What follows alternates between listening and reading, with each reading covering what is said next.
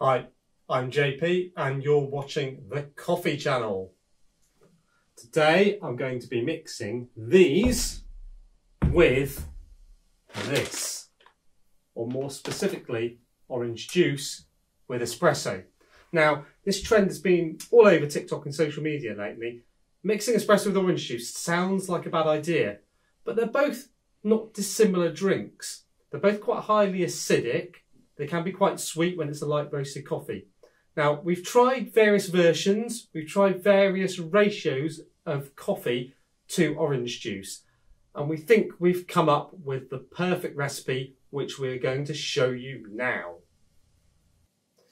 So for this particular recipe, you'll need two large juicing oranges. If you can get them and the time of year is correct, Valencia oranges are the best ones that you can get. Now, put to one side, then you'll need a glass with plenty of ice in it. The espresso is going to be warm. You want to freshly squeeze the orange juice, so that is not going to be cold. You want to drink the orange juice pretty much as soon as you squeezed it. So you need plenty of ice to make this a nice, cold, refreshing drink. Lastly, you will need some espresso. I would recommend using a natural coffee and a light roast one like this Araku, which is an Indian coffee, which will have flavours that complement the orange juice. And the natural coffees, they have that slight booziness generally. They have lots of fruit flavours. This one has stone fruit, but there's a bit of chocolate in there as well. So you'll get this kind of chocolatey orangey flavour from the coffee. Now, what I'm going to do as well is I'm going to slightly under extract this. I'm going to run it a bit coarser on the grinder. So some of those fruit acid flavours come through a little bit more because they'll be disguised by the acidity and sweetness in the orange juice. And so we want some of these caramelly flavours to come out in the finished drink. So we're going to squeeze orange juice, we're going to make our espresso, and we're going to put it in the glass. Okay, so we've made our espresso, we've made our orange juice, we've got plenty of ice. We're now going to add the espresso to the orange juice. And you can see it mixing there. Now we need to give it a bit of a stir to mix those flavours in and to make sure it gets colder. You could put this into a cocktail shaker actually, that's one possibility that might make it taste a bit nicer, but I quite like it with the ice as it is. Now let's give it a try and see how good this is.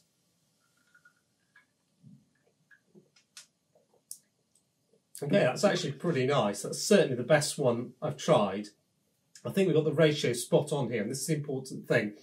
It's about 100 mils of orange juice. So those two large oranges will make about 100 mils of orange juice. And then we've got around 38 mils to 40 mils of coffee. So about actually about 35, 36 grams of coffee in there of espresso. And it's that ratio that makes it taste nice. Now, some people might prefer it a little bit weaker, like they do with a latte rather than a flat white. But I like my milk drinks to be flat whites or piccolo. So I like it to be fairly strong so I can actually taste the flavour of the coffee.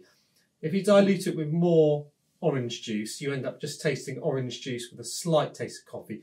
With this, the two drinks balance each other quite well. So you've got sort of 140 mils of drink in there in total, and 40 mils of it is from the coffee, 100 mils of it is from the orange juice. So that's the sort of ratio you'd expect with something like a flat white. So it's like a, a cold flat white type of recipe, but much fruitier. Let's try a bit more. Okay, a good thing here is we've under extracted the coffee a little bit, which means that it still cuts through with this orange juice and there's this kind of caramelly back flavour there, which kind of complements the orange juice quite nicely.